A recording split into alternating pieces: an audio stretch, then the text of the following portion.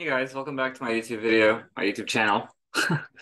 it's currently around two o'clock in the morning, uh, just wrapping up some things for work, and I wanted to showcase some really cool, really fast thing that I worked on for a client of mine, um, and demonstrate how to do it, uh, and some use cases that you may want to have with. Now, uh, we are going to dive into the Halo PSA custom integrations again, in this case. Um, so let me go ahead and share my screen and we will jump right into it. So I think you can see my uh, Rising Tide pre-beta internal instance. We are running on a version that has not yet been released.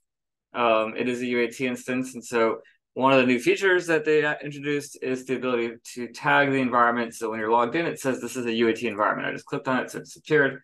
I don't know how if we can get it back, but that's not the point. Uh, just to showcase, we are currently on 2.135.2. But the things that I'm going to show in this video is not uh, restricted to a specific version. I think even the st latest stable version that's out there right now has the ability to do custom integrations, and everything that we're going to do is doable from custom integrations and native functionality within Halo besides for that.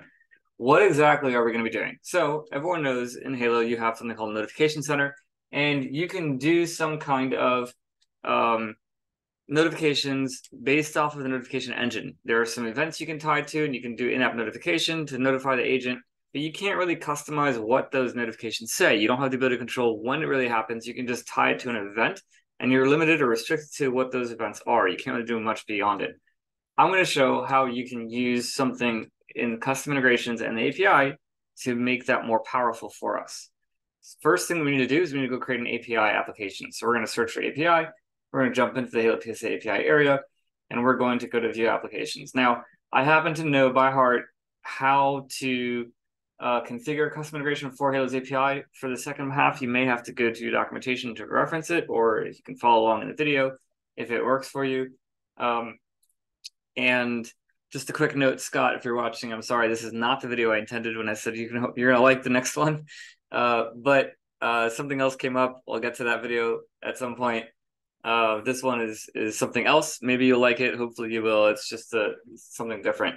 So we're gonna go ahead and I'm gonna put in Halo PSA custom integrations here, and we're gonna say it's client ID and secret. The thing to know about client ID and secrets when you're building an API application, there is or has been a bug. I don't know if it's fixed in this version or not, but the bug exists that if you save an application, the client ID changes on you after you save it. So I'm gonna copy the client secret because we're gonna need that. Um, but the client ID, I'm not going to bother with because I don't need that to happen right now. Now, ideally, I can always come back and retrieve the client ID. I can't get the client secret again without regenerating it. Ideally, you'll have an agent in place that you can use for your API agent. In this case, I'm just going to use myself because I don't have an agent on here. But I would encourage you to build an API agent that you can then tie the application to so you know and track what that uh, integration is doing. This is true regardless of your integrations. That agent permissions are going to be restricted to the, the permissions of the API application are going to be restricted to the permissions of that agent. The next thing I'm going to do is I'm going to go to the permissions tab and I'm just going to hit all in this case. I do not recommend using all for any app integration except for maybe this one. Uh, anything that needs to do all admin tasks inside of Halo, you can do all, but primarily you want to be more specific in the scope that you're going to be granting. In this case, I am doing all. So we've got my uh, client secret, we can see our client ID actually did change. Um, so we're grabbing it now. We've got my agent login as Mendy. Permissions are set scope to all, and we're going to jump from integrations into custom integrations all the way at the bottom here. And if we go into custom integrations, we can see that we already have ChatGPT, which, as you saw in previous videos, it's built in if ChatGPT is enabled. If you enable Azure, Azure API, uh, Azure Open API, Azure Open AI. Wow, um, Azure OpenAI will show up in as a custom integration. We're going to create one here called Halo PSA, and it's going to be our own Halo. Okay. Here's what we're going to do. We're not going to choose system integration. We are going to choose uh, base URL is going to be the host name that we have. So we're just going to copy it out of here, and then it's going to end in forward slash API. Again, if you don't know this by heart, you can go look at the API documentation, and from there you can figure it out what's needed, or you can just follow along. We're going to take this and go to OAuth 2.0. That is the authentication token used uh, with the API. And we are using client credentials. That is what we chose when we built the API application. The authorization header name is optional because it's by default, it's going to use authorization, and that is the header name that we want. You can also type it in if you want to be sure. but authorization and the header prefix of bearer, these are all standard classic OAuth 2.0. Um, so we don't have to change any of this stuff.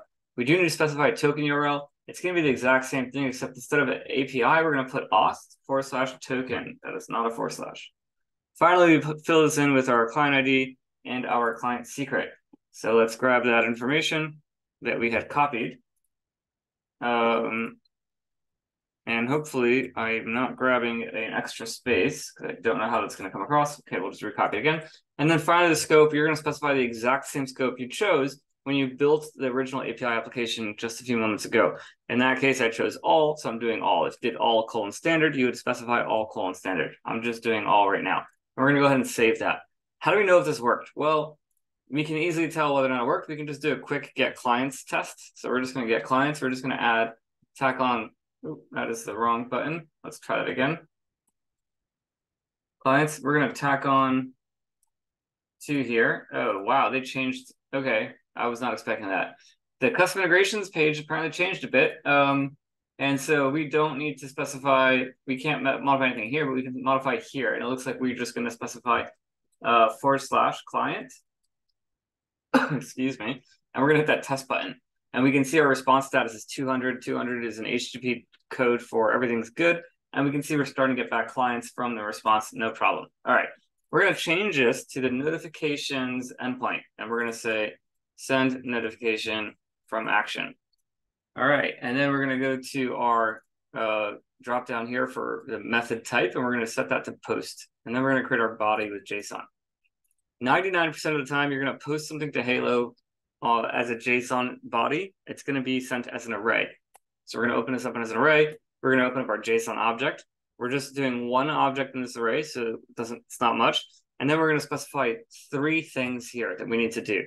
Uh, potentially, we only need to do two. We only need to specify uh, agent ID, and that's going to be the agent who's going to get that notification, and then we want to specify the message, and that's going to be what that message actually says. Uh, in this case, we're going to do one other one. Uh, let me just go back here, and we're going to do ticket underscore ID. There's a lot more things that we can do here. We can use notifications endpoint to send text messages, send emails. I'm just doing in-app notifications. I'm just doing simple messages, and I want to link that message, that pop-up that shows up, back to a ticket. And so these are the information that I'm going to specify. For agent ID, I'm going to use the ticket agent ID, which is down here, and just click. And then we're going to put in a comma, go to the next one. For the message, I'm actually going to do an action variable. That action variable is going to be action under uh, caret note. Ooh, you got to click into that. And then we're going to do a comma. And then for ticket ID, we're going to go back and do a ticket variable. And that ticket variable is going to be ticket caret ID, just like that. And that's basically it. That's all we need to do. We're going to go ahead and save this. Uh, you can test it if you, oh, apparently it's invalid JSON body. What did I forget? Uh, a comma or a colon is what I forgot. Let's go ahead and save that. There we go. Now we can send a notification from an action. And if we test it, it's going to prompt for a ticket number and an action number for it to send. It's going to take the note of that action and send it as a notification to the agent assigned to the ticket. That's what the goal of this is. So now we're going to come and go to our tickets actions, and we're going to build an action real quick. It's just going to be notify, send note to agent.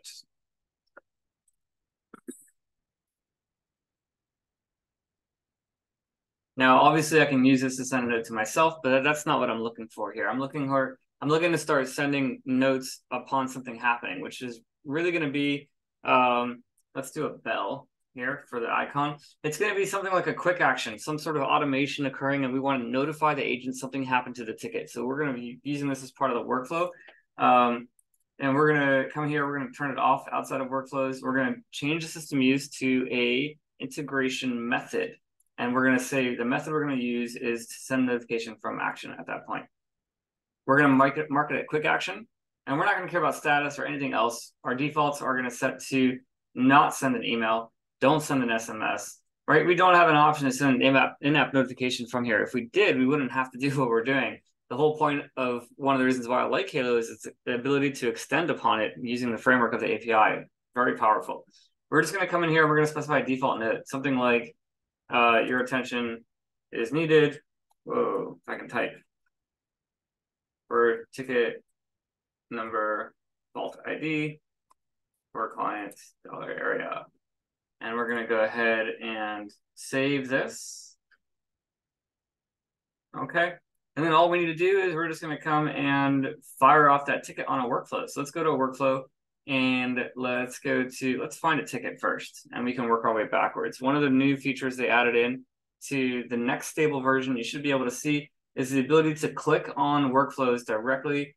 And uh, if you're an admin, it'll take you into the configuration where you can just modify the workflow at that point. I'm going to come in here and I'm going to change our details tab to automatically include the notify button we just did, send note to agent. So we can do it anywhere on the workflow. We don't have to mess with that. And then finally, we're just going to come along here and I'm going to assign, oh, I'm already assigned to the ticket. So I can just come here and I'm going to pop this out to a new tab so that I don't have to refresh. Boom, I have this and I've got notify send note to agent. I'm gonna go ahead and toggle that action. We're gonna see that we're gonna get back your attention is needed for client Freston Cakes and Bakes. And if I come up here, we should see, maybe I have to refresh for it to load. Uh, boom, your attention is needed for a ticket number for client Freston Cakes and Bakes. And so now we've just tied this action into the notification center and we can send notifications to people based off something happening. We can tie this into a timer or an automation, something on a workflow, a ticket sitting too long in a specific state inside the workflow. We can fire off that notification to an agent, to some other agent, to the agent's manager, and so on. And we click on the notification and it takes us into that ticket.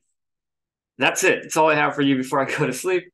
Hopefully, this was uh, useful and helpful. And no, I'm not including the JSON on the video, guys. It's not that complicated in this case you should be able to retype it. And the more stuff you do manually, the better you will learn it. Uh, so I apologize if that don't like that answer. Um, but I don't think this is complicated enough. If uh, if there is no other way for you to get the information I'm talking about, then yes, I will be happy happy to provide it in a document. But if there are ways for you to get to it, I my entire purpose of doing this is so that you actually learn it, not for you to get cool things out of it.